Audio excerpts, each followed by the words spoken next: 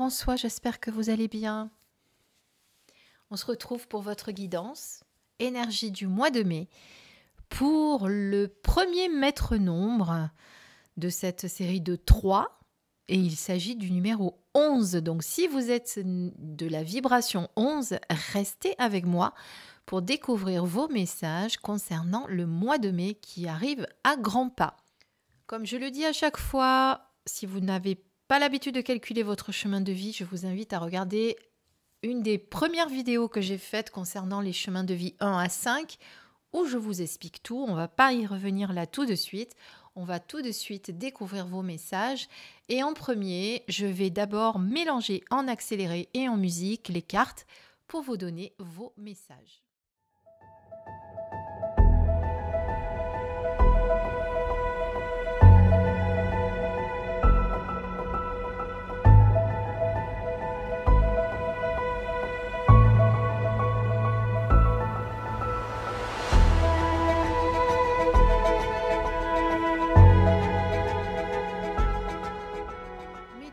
D'abord, avant de vous donner vos messages, on a oublié de donner un petit peu les, grandes lignes de ce numéro 11 qui n'est pas un chemin facile puisque euh, beaucoup de gens ne le vivent pas en 11 mais le vivent en 2. D'ailleurs, vous risquez de vous retrouver dans le chemin de vie numéro 2, donc je vous invite à y aller si jamais vous ne l'avez pas regardé. Voilà, parce que euh, le maître nombre numéro 11, c'est un maître nombre, donc euh, c'est quelqu'un qui, qui est très intelligent, qui peut avoir une intelligence supérieure. Hein, aux autres. C'est quelqu'un qui va s'entourer de très peu de personnes, il va être assez solitaire. En tout cas, les gens qui vont, euh, qui vont être avec lui euh, seront des gens euh, qu'il va sélectionner, qui seront dignes de confiance. Ce seront des amis très, très, très, très proches. Voilà, et c'est, comme je vous ai dit, un chemin de vie très difficile à vivre parce que ce n'est pas forcément la vibration est très très forte et il y a des gens donc du coup qui comme ils le vivent trop mal, eh bien n'arrivent pas à le vivre en 11 et le vivent plutôt en deux. Voilà, donc c'est un chemin de vie d'inspiration, le numéro 11. Voilà ce qu'on peut en dire. On découvre maintenant. avec quel oracle je travaille ce soir. Ici, c'est le chemin de pavé d'or de Tony Carmine Salerno. J'ai gardé, comme pour le chemin de vie neuf, l'oracle Liberté d'être de Aurore Gauthier, un jeu auto-édité. Ici, vous avez le, grand oracle de l'amour euh, de, euh, j'ai oublié, euh, oui, Colette et Gérard Lougar. Ça y est, ça me revient. Et bien entendu, la carte de votre esprit, votre guide intérieur. Alors, on commence tout d'abord par, alors je vais mettre la carte ici. non, il y a la bougie qui se reflète, c'est pas terrible parce que j'ai mis, j'ai mis des bougies partout, ça se reflète dans tous les sens. Voilà, le numéro 11. On va regarder déjà d'une manière générale ce qu'on a à vous dire. Alors, c'est une période qui se termine ici avec cette carte, c'est-à-dire que euh, vous avez eu beaucoup de tracas, beaucoup de soucis ces dernières semaines, euh, avec euh, des soucis très prononcés peut-être sur le plan professionnel, mais même sur le plan personnel. mais en tout cas, c'est une carte qui vous dit que ce cercle vicieux, en tout cas cette espèce de tourbillon dans lequel vous vous êtes trouvé pendant plusieurs semaines, va s'apaiser. Vous allez retrouver une certaine sérénité. Hein, vous voyez ce tourbillon dans lequel se trouvent euh, les cheveux de cette jolie, euh, cette jolie jeune fille, eh bien, euh, cette carte vous annonce, malgré qu'on voit encore le tourbillon, que ça va s'atténuer petit à petit. Donc le mois de mai va commencer encore un petit peu à bouger, puis petit à petit ça va s'atténuer, ça va s'apaiser, et vous allez retrouver une certaine sérénité. Donc cette carte vous dit que bah, ceux qui vous encombraient, là, les soucis du passé, vont petit, petit à petit disparaître. Par, pardon. Donc ça peut être des obstacles, ça peut être des soucis, ça peut être des conflits. Tout ça va s'atténuer, va se calmer tranquillement euh, au début du mois de mai. Donc ne vous inquiétez pas, c'est euh, une période un peu plus calme que ce que vous avez eu ces derniers temps qui arrive pour vous. Avec cette carte, eh on vous annonce en plus la prospérité. Donc ça va être un mois de mai sous de belles énergies, avec une belle prospérité. Elle confirme également qu'un cycle se termine, comme celle-ci, avec des défis, des obstacles qui seront terminés. Vous voyez, c'est comme si elle était libérée, cette personne. Elle se sent légère. On voit que ça va être plus léger, ça va être plus calme, plus dense, plus, pas plus dense, euh, plus, euh, je trouve plus le mot que j'allais dire. Bon, c'est pas grave. Vous voyez, ça va être quelque chose, on va se sentir beaucoup mieux. Vous, allez être, du coup dans un, dans un esprit un petit peu plus de lâcher prise. Et du coup, étant dans ces belles énergies, eh bien, vous allez attirer un petit peu plus de positif vers vous, que ce soit sur le plan matériel, sur le plan professionnel, euh, sur le plan financier aussi. Il y a beaucoup, beaucoup de choses qui vont rentrer dans votre vie, du coup, avec cette belle carte qui arrive. Voilà. Voyez, cette personne, là, on la sent sereine, on sent qu'elle est libérée, euh, on sent qu'elle est dans un total lâcher-prise. Voilà, donc ne vous inquiétez pas, une belle libération qui arrive. Donc, si ces derniers temps c'était compliqué, sachez que ça va s'apaiser. Je sais que c'est toujours facile à dire et on se dit, mais quand ça nous arrive, que ça se cumule comme ça parce que c'était un petit peu ce qui, s'est arrivé, ce qui est arrivé ces derniers temps hein, pour les chemins de vie 11. Ça s'est beaucoup cumulé. Vous aviez l'impression d'ailleurs que ça n'allait jamais s'arrêter. Or, on vous dit de ne pas vous inquiéter, ça va enfin s'apaiser. Alors attendez, j'ai une brillance là qui me gêne. Je vais voir si je rate une des lumières, si ça marche. Oui, non, mais là, du coup, mon anneau éclaire, de moins en moins. Donc, euh, on voit qu'on est quand même un peu dans la pénombre. Hein. C'est pas terrible. Oh, je vous dis que j'ai les LED qui me, qui me lâchent en ce moment. Qu'est-ce qui me fait celui-là? Attendez, je vais essayer de remonter. Bon, ça marche pas des masses. Bon, l'essentiel, c'est que vous voyez les cartes. Ça fait un peu cosy, ça fait un peu... Euh, non, c'est pas si mal, en fait, la déco comme ça. Donc, belle période qui se termine, je disais. Donc, on a peut-être l'impression que ça s'est beaucoup succédé ces derniers temps avec cette carte. Hein. il y avait vraiment... Vous aviez l'impression et vous vous êtes même dit, bon, quand est-ce que ça s'arrête un petit peu? Parce que là, il y en a un petit peu marre. Et on vous annonce une accalmie, un retour à une certaine sérénité. Donc, c'est bien pour vous, vous allez pouvoir enfin vous poser. Avec cette dernière, cette dernière carte, non, c'est la troisième, pas la dernière. Là, on parle d'amour. Euh, alors, pareil, sur le plan amoureux, on a l'impression que vous avez subi une période de grande solitude, de grande... Euh, un petit peu, vous vous sentiez perdu, comme si vous vous posiez beaucoup de questions sur votre relation, à savoir si, euh, si bah, vous vous êtes posé des questions sur votre partenaire, euh, savoir si vous alliez continuer ou pas. Ça arrive hein, même au bout de 10 ans, même au bout de 20 ans, qu'on se pose ce genre de questions et que par moments, ben, on s'interroge sur le devenir de notre relation. Eh bien, c'est ce que vous avez subi. Euh, voilà, mais cette carte vous annonce également que ça va être beaucoup mieux sur le plan de l'amour, voyez, parce que même si elle a subi une, espèce de, de, de traversée du désert, cette personne, on sent que petit à petit, elle reprend confiance, elle reprend goût à la vie. Euh, elle a eu peut-être besoin, cette personne, donc vous, de se mettre un petit peu euh, à l'écart pendant quelque temps. C'était un besoin, c'était nécessaire à votre, euh, à votre progression, à votre évolution. Mais là, petit à petit, il va falloir revenir vers l'être aimé et vous réouvrir à l'amour. Si vous étiez célibataire, euh, ou si vous êtes célibataire plutôt, c'est pareil. Donc ça a été une période de grande solitude. Vous aviez du mal à vivre ce célibat. Mais cette carte annonce que ça va aller mieux au mois de mai. Vous allez vous sentir moins euh, vide. Vous voyez ce que je veux dire? Vous, n'aurez plus besoin... Euh, pratiquement de, de, besoin de vous compléter pour être heureuse, pour être en paix, pour vous sentir bien. Voilà ce qu'on vous dit. Je vous ai rajouté un petit peu de, lumière, c'est pour ça que j'ai coupé quelques secondes, parce que c'est vrai que c'était joli, mais j'avais, je voulais pas non plus qu'on soit trop dans l'ombre. Donc voilà ce qu'elle vous annonce, cette carte. Ça va aller mieux. Si vous vous êtes senti seul, si vous vous êtes senti, si vous avez eu cette période difficile de solitude à vivre, eh bien, au mois de mai, vous allez recommencer à vous ouvrir aux autres et à nouveau, euh, eh bien, vous rouvrir aussi à l'être aimé si jamais vous êtes en couple. Voilà pour la troisième carte. Avec la quatrième carte, alors il y a vraiment voyez tous ces, tous ces soucis là, ces blocages, ces défis qui se sont présentés sur votre route.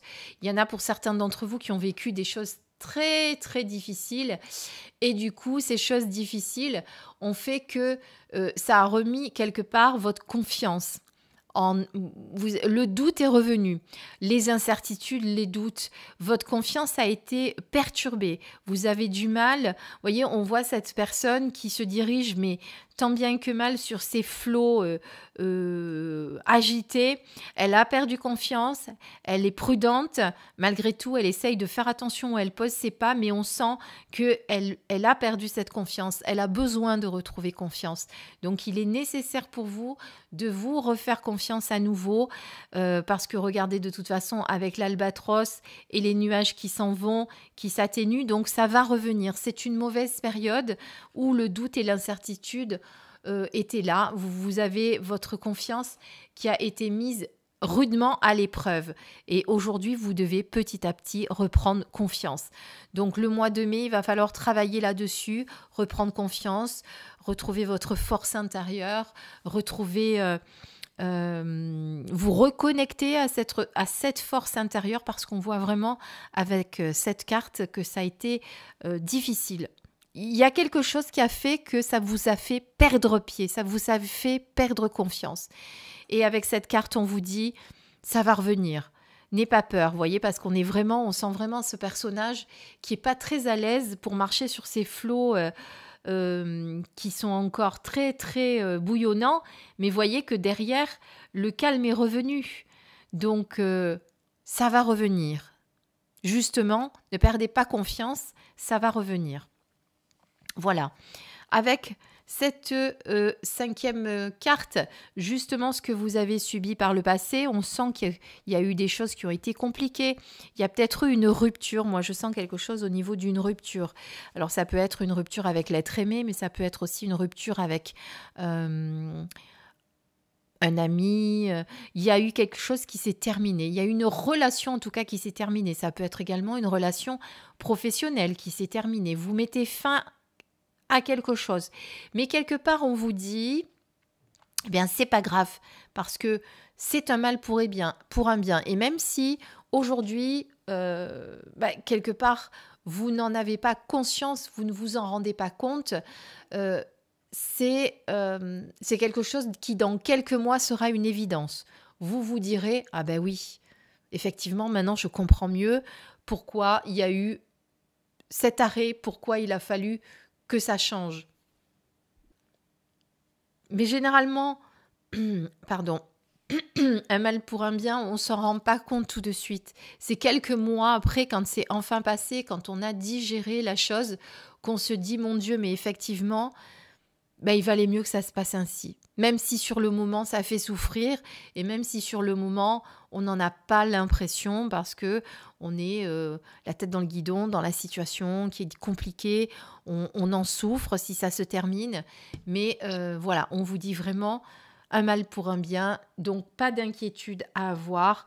C'est quelque chose qui va, euh, qui va passer avec le temps. Je vous ai tiré une carte supplémentaire pour vous montrer quand même qu'on est vraiment là-dedans, hein, ce manque de confiance, etc. C'est que les émotions sont très très fortes. Donc quand vous avez des émotions, alors vous avez peut-être eu envie de pleurer, vous aurez encore envie de pleurer au mois de mai. Hein. le début du mois de mai risque d'être encore un petit peu perturbé par, par tout ça, par tout ce qui vous est arrivé, même si effectivement la prospérité, le calme revient, cette espèce de sensation de, légèreté, elle va revenir, mais il y a encore tout ça qui est là. Donc là, euh, les émotions sont très fortes, vous avez souvent envie de pleurer, vous vous sentez à fleur de peau, vous vous sentez vulnérable, mais comme je vous disais à l'instant, plus les jours vont passer au mois de mai, plus vous allez vous sentir légère, apaisée, légère ou léger, plus apaisée, plus sûr de vous et plus en confiance. Donc si les émotions sont là, on les accueille, on les accepte, on les on s'y attache pas hein, parce que c'est pas nécessaire, mais on peut euh, malgré tout les accepter parce que quand elles sont là, on doit les accepter. On ne doit surtout pas culpabiliser, on, on, ne doit surtout pas les retenir non plus quand on a envie de pleurer. Il ne faut pas avoir honte de pleurer, on se lâche. Quand on a besoin d'exprimer ses émotions, il faut le faire sans retenue, parce que si vous les bloquez, ça va se cristalliser à l'intérieur. Et puis, dans quelques temps, eh bien, comme vous les avez ignorées, comme vous les avez refoulées, elles vont ressortir, mais d'une autre manière, avec, euh, je sais pas moi, des mots. Euh, mal au dos, mal aux vertèbres, mal à la nuque, euh, des petites maladies, des petites choses qui vont vous embêter encore plus. Donc, on l'accepte, on ne les retient pas, on ne les refoule pas, mais par contre, on ne s'y attache pas. D'accord?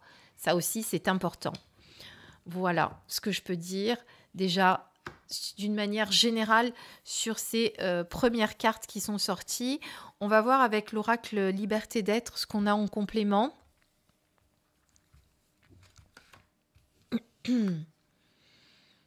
Alors, pour vous libérer, pardon, j'ai quelque chose qui sonne.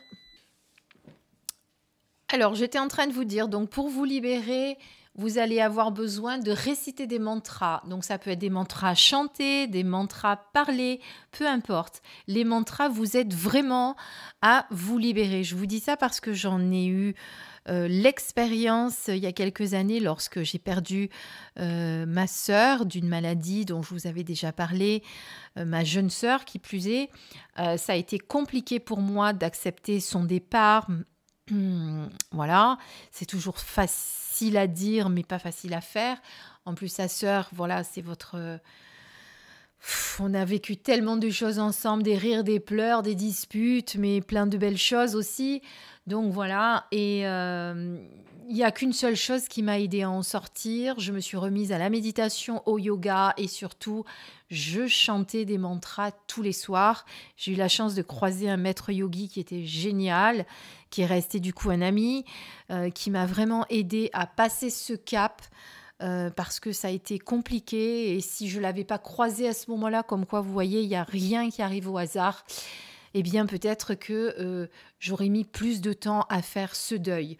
Bon, il faut compter un an quand même hein, pour faire un deuil, mais ça m'a quand même aidé à sortir du trou euh, dans lequel je commençais à m'enfoncer sérieusement.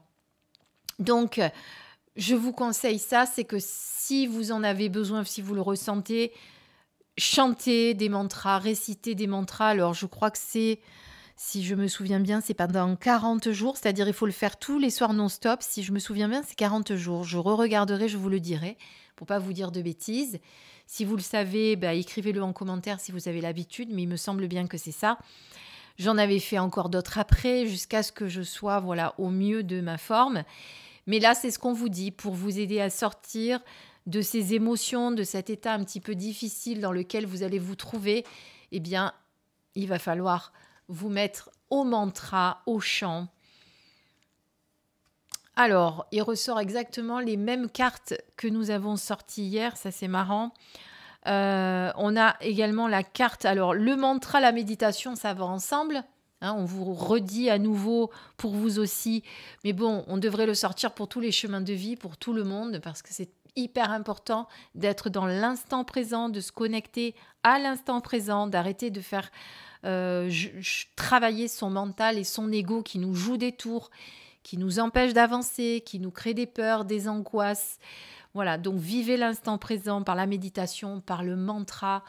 Je viens de le dire, en plus je vous ai dit, méditation. Moi je me mettais en méditation et ensuite je faisais mon mantra de 10 minutes et ça tous les soirs, tous les soirs, tous les soirs pendant 40 jours.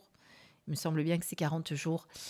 Voilà, et ça vous aidera à passer un défi, ce défi là dont on parlait tout à l'heure, justement, cette espèce de rupture pour moi qu'il y a. Euh, c'est pas celle-là, je sais plus laquelle, je vous ai dit qu'il y avait une rupture. Voilà, c'est sur celle-là que j'ai ressenti ça. Je vous ai dit qu'il y avait une rupture, quelque chose qui s'arrêtait, une fin, la fin d'une situation, la fin d'une relation qui allait être douloureuse. Mais c'est un nouveau défi qui est mis sur votre route et qu'il va falloir surmonter, mais vous en êtes tout à fait capable. Voilà. Donc, allez-y, n'ayez pas peur. Prenez vraiment... Euh, euh, prenez ce défi comme un enseignement supplémentaire que vous, dont vous en ressortirez, vous le savez. Hein, je vous le dis à chaque fois. Alors voilà ce qu'on peut dire d'une manière générale. Euh, on va regarder maintenant les énergies sur le plan sentimental.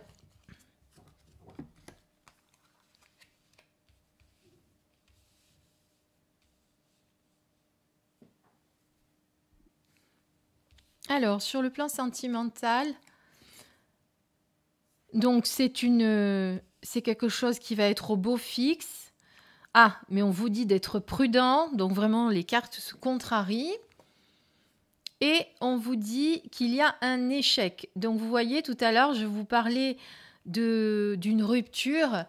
Euh, donc ben, on l'a, la rupture. Alors, comme je dis à chaque fois, les cartes sentimentales, même si c'est le grand oracle de l'amour, ça ne veut pas forcément dire que je suis en train de parler de votre compagnon de vie ou de votre compagne de vie.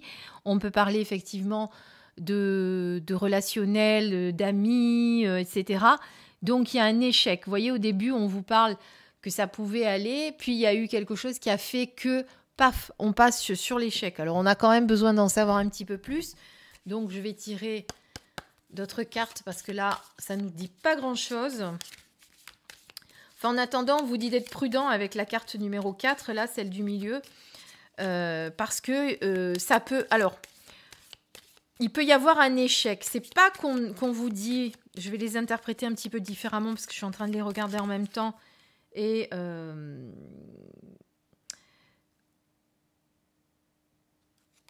voyez, ça vous dit ici qu'il y a la permission de vivre cette, relation. Là, on vous dit d'être prudent, parce qu'il peut y avoir un échec. Mais il y a quand même une concrétisation, un achèvement. Donc, euh, y a une, on vous demande d'être prudent dans cette relation. Euh, alors, pourquoi on vous demande d'être prudent? Parce qu'il peut y avoir un échec. Alors peut-être que ça peut dépendre de votre comportement aussi, hein, comme en ce moment vous êtes quand même pas mal dans l'émotionnel, que vous vous êtes mis un petit peu euh, dans la dans la, comment dire, je vais y arriver, dans la solitude, vous vous êtes vous-même un petit peu écarté de tout ça. Euh, il peut y avoir un échec, voyez, si euh, vraiment bah, vous finissez par oublier l'autre. Quelque part, c'est ce qu'on vous dit. Donc, euh, ça peut se concrétiser. Alors, vous savez que en ce moment, les énergies bougent beaucoup, beaucoup, beaucoup, et tout dépend euh, c'est pour ça que je fais pas trop de prédictions, mais plutôt des guidances, parce que les prédictions maintenant, c'est ça veut beaucoup dire et rien dire aussi, parce que quelque part, ça bouge tellement que vous, par vos comportements, vous pouvez changer les choses, mais les énergies ne sont pas du tout stables et les choses peuvent beaucoup évoluer. Néanmoins, il y a quand même un fond qu'il faudra, euh, voilà, qu'il faudra garder on est bien d'accord, parce que sinon, il y aurait beaucoup de, médiums qui, diraient, qui ne sauraient plus dire, ce, enfin, qui ne sauraient plus lire l'avenir, et ce n'est pas le cas. C'est juste pour vous expliquer que tout peut changer en fonction de votre comportement et des énergies euh, qui sont très, très euh, en mouvement, on va dire ça comme ça. Donc, un échec peut se faire, peut être là, dans, votre couple. C'est pour ça que donc du coup, ce qui s'arrête tout à l'heure, c'est pas forcément le couple, ça peut être une relation autre que le couple, une relation professionnelle ou quelque chose en tout cas qui vous tenait à cœur, hein, parce qu'il y a quand même... Euh, euh, ça, ça, remet quand même votre confiance euh, à, l'épreuve, donc c'est quand même quelque chose qui vous affecte pas mal. Mais là, on vous dit qu'effectivement, si vous ne sortez pas euh, de cette, euh, cette solitude dans laquelle vous vous êtes mis tout, seul ou toute seule, si vous êtes pas, que vous sortez pas de cet enfermement, eh bien, votre couple peut aller à l'échec. C'est à vous qu'appartient euh, la solution, puisque justement, vous vous êtes mis, et je vous l'ai dit tout à l'heure, dans l'isolement, dans la solitude, parce que, parce que vous n'étiez pas bien hein, sur le plan de l'amour, rappelez-vous. Avec cette carte je vous ai dit que maintenant, elle est où? Je vous ai dit que maintenant, vous alliez en sortir, qu'il faut sortir de cette espèce de grotte dans laquelle vous vous êtes mise, euh, vous vous êtes mis. Ah, zut Bon, c'est pas grave. Allez, on les remet là. Donc quand on se sent seul, forcément, ou ça peut être également, euh, ben, ouais, il y a un départ quand même. Je sais pas, c'est pas. Je sais pas, c'est pas fluide au niveau de l'amour. Hein. Il va falloir travailler là-dessus parce qu'il y a eu une grosse période où vous vous êtes senti seul. Tout à l'heure, je sentais quand même un regain qui allait revenir. Mais c'est vrai que si vous-même, vous vous sentez pas à l'aise dans cette relation et si vous y mettez pas du vôtre, eh bien, il peut y avoir le départ de, de, de, de l'autre personne qui va faire que elle va en avoir marre et qu'elle va partir sur autre chose. Ah, ça, ça peut arriver. Mais comme je vous dis, tout dépend de ce que vous allez faire, de, votre réaction. Ça ne veut pas dire que tous les couples qui sont en train de regarder cette vidéo vont se séparer. Attention, hein. faites preuve de discernement, comme toujours. Hein. Voilà. Néanmoins, regardez, il y a de l'espoir. Donc c'est à vous qu'appartient la solution. C'est à vous de remettre de l'amour dans ce couple. C'est à vous de sortir de cet enfermement peut-être dans lequel vous vous êtes mis dans cette solitude que j'ai ressentie tout à l'heure au niveau de l'amour. Il faut que ça revienne, d'accord? Voilà, et pour les célibataires, bah, c'est pareil. Si vous restez euh, bloqué dans votre solitude, dans, votre, euh, euh, dans cette attente dans laquelle vous pouvez être, forcément, ça va être compliqué, compliqué de rencontrer quelqu'un. Mais là, on parle surtout des couples quand même. Hein. Voilà, donc prudence, Soyez prudent pour ne pas aller vers un échec et garder l'espoir et éviter que, que l'autre parte. Parce que vous voyez, il y a quand même la concrétisation avec ce, cœur qui... Il lui manque une pièce, donc euh, la pièce, c'est vous qui l'avez entre les mains. Donc il ne reste plus qu'à vous de la poser pour reformer ce couple qui a peut-être été ces derniers temps disloqué, malmené, et euh, peut-être que vous n'y êtes pas complètement innocent. D'accord? Voilà. Donc remettez cette pièce. Et pour remettre cette pièce, il n'y a que vous qui pouvez le faire pour éviter un départ. Vous avez l'espoir qui est là. Donc rien n'est perdu, on vous dit. Rien n'est perdu. Après, s'il s'agit d'une situation dans laquelle vous ne vous sentez pas bien, vous pouvez décider de partir. Hein. Ça, c'est pareil aussi. Hein. Voilà, ça c'était sur la partie sentimentale. On va regarder ce que votre esprit, votre guide intérieur a à vous dire. Si je la regarde à l'endroit, c'est peut-être mieux. Il est parfois merveilleux de donner, mais il y a des moments où vous pourriez vous retrouver à trop en faire. Ce serait peut-être un bon moment de vérifier où vous pourriez freiner cet élan de générosité.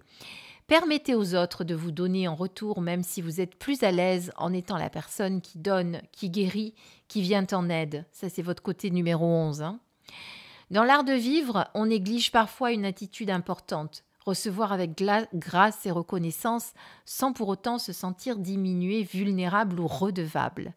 Pour certaines personnes, il est difficile de recevoir. Se peut-il que ce soit votre cas? Vous n'avez pas besoin d'un donnant-donnant dans vos échanges avec les autres vous faites du bien dans le monde. Alors laissez le monde vous redonner et vous soutenir. Ainsi, vous pourrez abandonner vos vieilles croyances qui vous ont convaincu que vous devez tout faire seul sans aide. Laissez votre puits se remplir à nouveau.